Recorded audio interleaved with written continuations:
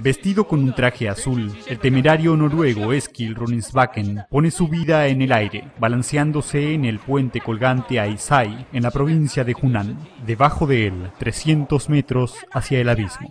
Los espectadores contienen la respiración mientras el señor Roninsbakken realiza su acto de equilibrio extremo sin utilizar arnés de seguridad. Saludando a las multitudes, el temerario hace equilibrio sobre sillas y se sube a una viga para realizar su rutina. Como si esto no fuera suficiente, a continuación se pone una venda en los ojos mientras realiza acrobacias colgando de un globo de aire.